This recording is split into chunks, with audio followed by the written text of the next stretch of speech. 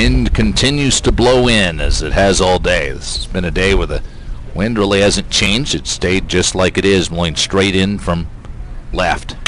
Ground ball. Third baseman fields it. Boy, that was hit sharply. Scooped up by Schrag, who throws to first for the out, and Kuhn hit a seed at him. That's the inning.